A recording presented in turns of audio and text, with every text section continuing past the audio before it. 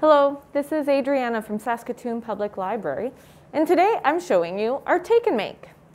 But before we get started, I'm first going to remove my mask, since I'm alone in this room, so you can understand me just a bit better. And today we're going to be reading a story and doing a craft all around kindness for International Kindness Days. What does kindness mean to you? What does it look like when we are kind? And how does it feel when others are kind to you? And to get started, I'm going to share a book with you by Canadian author Monique Gray Smith.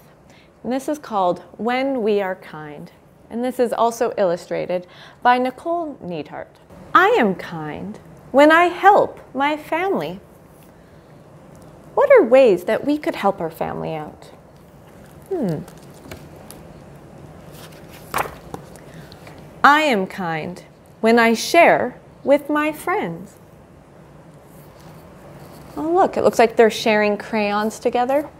It's always very important to share.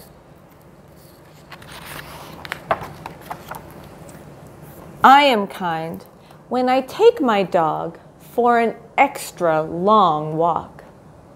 You know, I know my dog really appreciates it when she gets an extra long walk.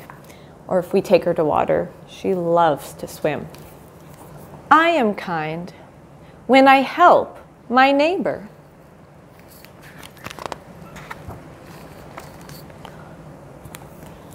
I am kind when I bring food to my elders.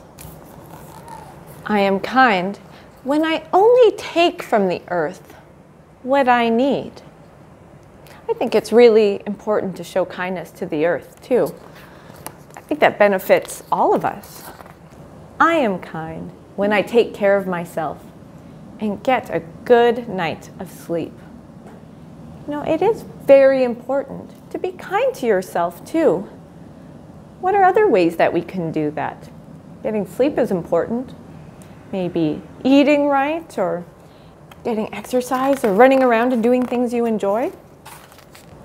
I feel joy when my family and I are kind. How do you feel when others are kind to you? I feel happy when my friend is kind to me. Well, look how well they're playing with one another.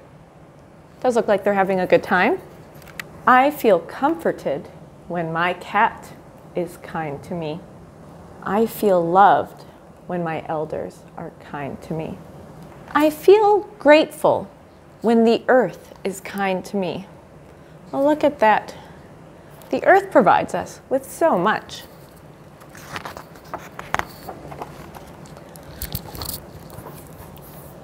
I feel respectful when I am kind to myself. When we are kind, we remember that we are all related.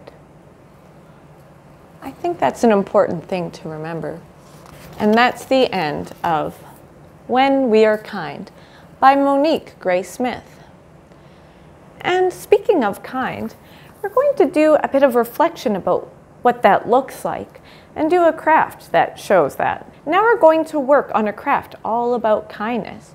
So if you have one, grab your take and make bag or any paper you might have laying around the house and we'll do a little craft all about kindness. So here we have a finished version of what your craft will look like. Looks like a kindness flower. So in every kit, you should find a glue stick, some crayons, as well as a CD, and a paper that has some traced out petals.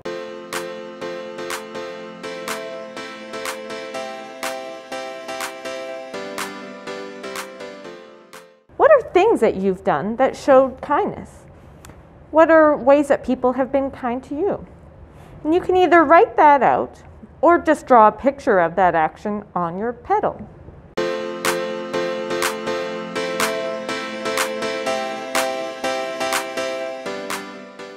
Oh, and this says sweep the floor. And we have a lovely picture of a broom. Sweeping the floor is a really kind way to help out. And you'll put a bit of glue on your petal and glue that to your CD.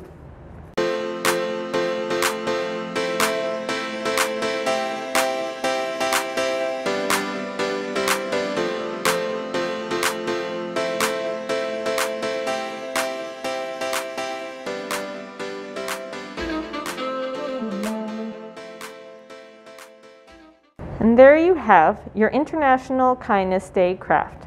And thank you for joining us today for International Kindness Day Take and Make. I hope that you've got a finished craft that you enjoy and feel free to bring it with you into the library sometime and show us. And with that, we're going to say goodbye today with a wave goodbye and we'll sing together.